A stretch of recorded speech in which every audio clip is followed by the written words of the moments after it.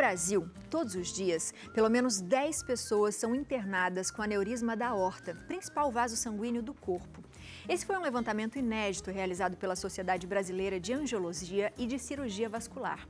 As mulheres têm de duas a três vezes mais chances de desenvolver a doença do que os homens.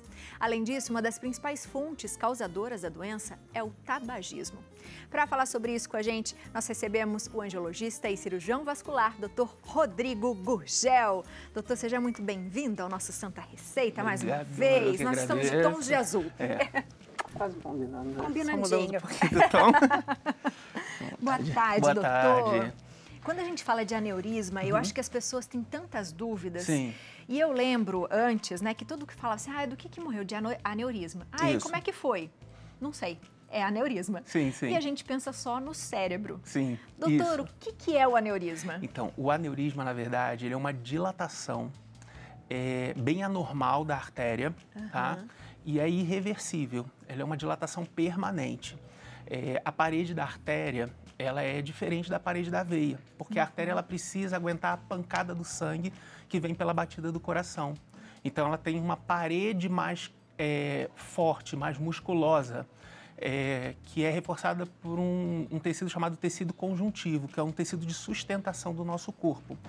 E a- ela perde essa, essa fortaleza e começa, vamos dizer a grosso modo, quebrar. Então ela começa a dilatar e acontece mais ou menos aquilo ali. Né? O sangue ele pode passar direto, né? ou ele pode turbilhonar ali dentro. O que que é o turbilhonar? E ficar rodando. E com isso ele vai dando cada vez mais pancada nessa área dilatada e vai dilatando mais. É, Existem algumas situações que nessa curvinha da dilatação forma-se um trombo, faz uma trombose ali dentro. Aí as pessoas pensam assim, então é, com a trombose está mais seguro, porque o trombo é duro.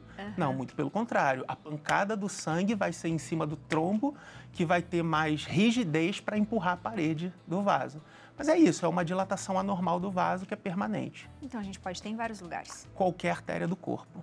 Hum, Quais são as mais comuns, doutor? Cérebro, artéria Aham. cerebral, que é o que a gente mais ouve falar, e a aorta, mas na altura do abdômen, a aorta abdominal, né? Que ela sai aqui do coração, ela faz uma curva aqui em cima e desce, aí tem a aorta torácica e a aorta abdominal na altura dos rins.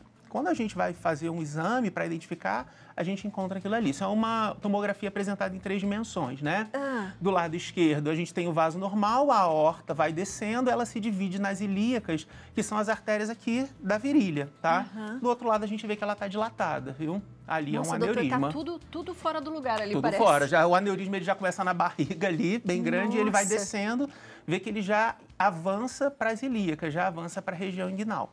E o que causa um aneurisma, doutor? Que eu, eu pensava antes que era, sei lá, ah, tive um acidente, bati, né? Sim, também. O trauma é uma das causas, né? É, hipertensão é a principal causa, né? Porque a pressão vai subindo. As pessoas que não gostam de fazer o controle da pressão arterial com medicamentos, com alimentação ali sem o sal, né? É, beber bastante líquido faz com que o sangue fique mais viscoso e com que essa pressão, como a gente falou, né? A pancada do sangue na parede do vaso. Então, esse aumento de pressão vai esgarçando e vai quebrando esse tecido conjuntivo. É, a gente tem a questão do colesterol alto, né, dislipidemia, porque ele vai ferindo a parede do vaso e conforme ele cria uma ferida ali, o colesterol cola na tentativa até de cicatrizar e ele acaba penetrando na parede do vaso, deixando ela mais mole e auxiliando essa quebra. É, junto com isso tem o tabagismo, que você citou ali, que a dinâmica é a mesma. Tá? Os componentes do cigarro fazem essa, essa, esse ferimento da parede do vaso, penetra e acaba causando é, uma vulnerabilidade dele. E tem a hereditariedade. Então, assim, as pessoas que têm alguém na família, e é exatamente isso. Você tem alguém na família com aneurisma, né? A gente sempre pergunta, não, não tem. Alguém morreu de mal súbito? Estava em casa, caiu e morreu. Ah, sim, eu achei que fosse infarto. Né? É sempre assim. Vai procurar, porque normalmente as pessoas da, da família, os, os herdeiros, podem ter. Podem ter. Né? E, doutor, por que as mulheres são mais Então, suscetíveis? na verdade, o cerebral, as mulheres são mais suscetíveis. Ah. Mulheres entre 35 e 60 anos acontece mais. O abdominal são homens. Os homens são mais suscetíveis ao, ao- ao abdominal. Talvez até por uma pressão interna, tá? Do abdômen. O homem tem mais facilidade de ter a barriguinha, de acumular mais gordura, então isso pode fazer a pressão. E aí ocorre essa dilatação que nem sempre é como se fosse uma bola. E ali existem os aneurismas, né? Existe ah. o aneurisma sacular. São tipos. Isso, que é ah. só quando uma parte dele é, dilata, né? Uma parede só da artéria e tem o fusiforme, que são quando as duas paredes dilatam. Lembrando, se não tomar os cuidados necessários com a pressão, ficar pegando peso, né? não tem remédio. Não tem remédio. Não tem remédio. o que, que faz regredir o aneurisma? Não tem medicamento. A gente, quando, quando a gente vê a existência dele, a gente faz o diagnóstico pelo exame e vê quanto ele tem de diâmetro de alargamento. Normalmente, uma horta né, uhum. abdominal, porque normalmente quem resolve a parte cerebral é o neurologista, o neurocirurgião. Na nossa parte, que é a horta abdominal principalmente, entre 2 e 2,5 centímetros é o normal. Uhum. A gente vai acompanhando essa dilatação. Se ela tiver 4, passou de 5,5, a gente já indica a cirurgia, senão ele pode romper. É uma né? bomba relógio ali. É uma bomba relógio. Então, quando o paciente chega só com o vaso, tá? Ectasiado, que a gente chama, ah. é, que é alargado, é, a gente pede para o paciente não pegar peso, controlar a pressão, cuidado com, com a alimentação, né? diminuir o cigarro se for o caso.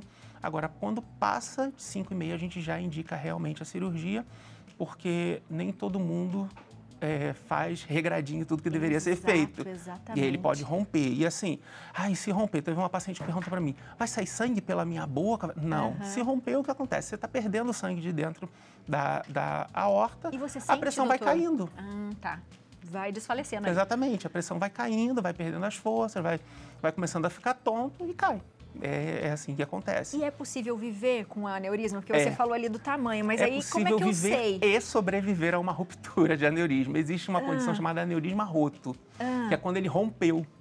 É, são pessoas assim que estão muito protegidas porque ele rompe, o sangue sai, rapidamente coagula e cria um tampão naquele buraco meio que ele mesmo já resolveu o problema. Ele resolve, aí corre para o hospital, porque passa mal, né?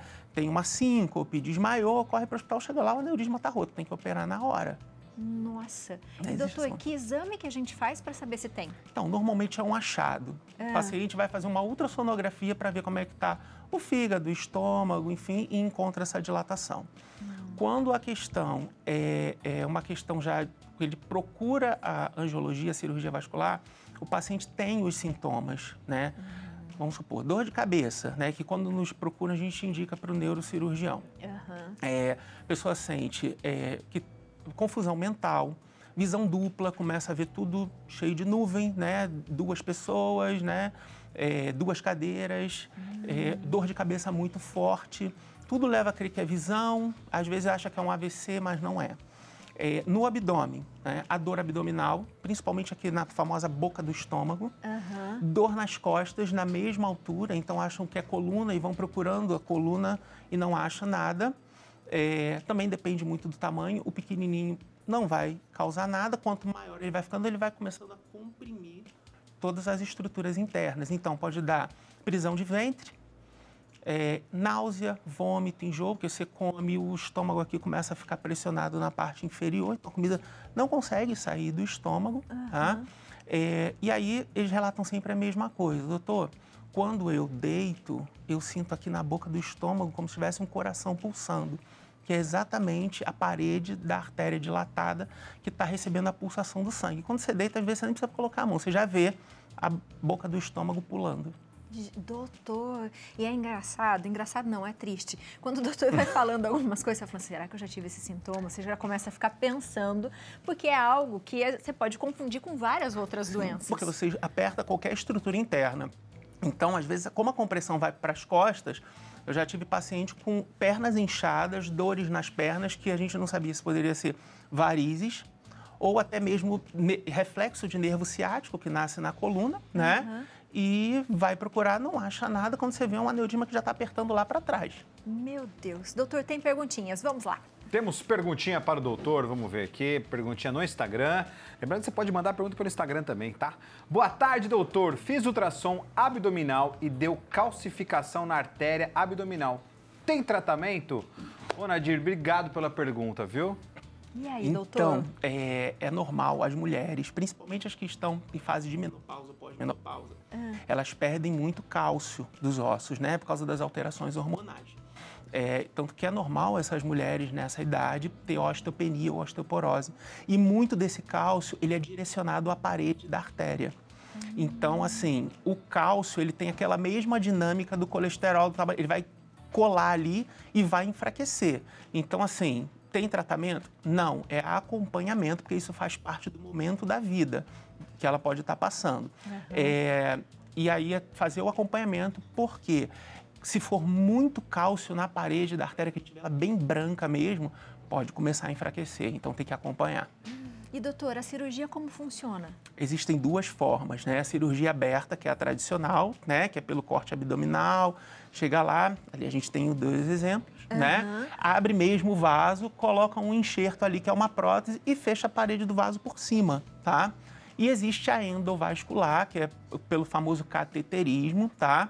Onde entra pela virilha, né? Com um fiozinho, chega até ali em cima, depois leva o stent, que é uma molinha, abre ele ali dentro, ele vai forrar essa parede da artéria e vai criar um ambiente como se fosse o vaso normal. E tá tudo certo. E a gente fica protegido ou pode ter outro?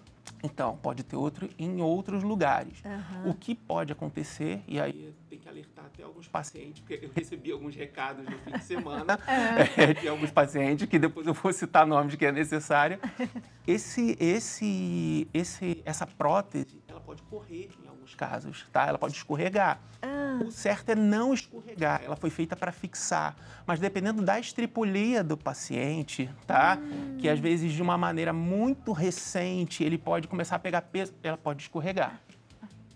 Tá falhando o microfone. Pode falar nesse Vamos lá, também. então. É. É, dependendo do paciente, né? Se fizer muita estripulia, ela pode escorregar.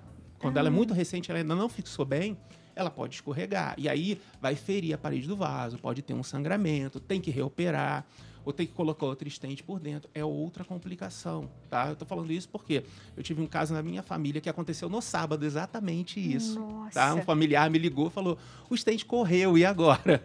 Como é que a gente faz? Mas graças a Deus está tudo bem. E tem pacientes que operaram recentemente, né? Eu recebi um recado até de um paciente seu Aldenor lá de Manaus, que Olha operou isso. Ah, que já está em casa, graças a Deus, muito bem sucedido. Porém, é, avisar que não pode fazer estripulia, não pode pegar peso, não pode pegar o barquinho, não pode fazer nada. Uhum. Tem que ficar de repouso, quietinho, direitinho. por quanto tempo, doutor? Então, a gente pede o repouso, normalmente 30 dias de repouso, depois pode voltar a algumas atividades. Mas assim, nada de ficar pegando peso, ficar arrastando as coisas, sempre ter o controle da pressão, não só pelo, é, pela prótese que foi colocada, Aham. tá? Mas também para não sobrecarregar outros vasos. Porque da mesma forma que você teve uma alteração na aorta, que é grande, e que recebeu toda essa pancada, você pode estar recebendo pancada em qualquer outra artéria. Então tem que, tem que se policiar bastante. Uau. Doutor, toda vez que você vem, eu fico pensando, mas tem mais coisa ainda para a gente aprender. E, e a gente é muito sensível e a gente tem que Sim. observar isso, né? E se cuidar. Se você de casa tem alguma dúvida, faz o seguinte, manda mensagem pro doutor que ele vai te responder. O Instagram, arroba doutordr.rodrigogugel. Muito obrigada. Eu que agradeço. Ótimo final de semana. Para nós. Léo, e não é? Você não fica pensando assim na sua cabeça, nossa, acho que eu já senti isso aí, será que eu tenho? Você fica meio assim às vezes? Uab, dá um medinho, não dá? Dá um medinho mesmo. Mas o doutor, quando vem aqui, esclarece tudo pra gente. Ele é incrível. Além disso, a gente fica batendo papo lá fora de amamentação, de bebês. Enfim, doutor, gente boa demais.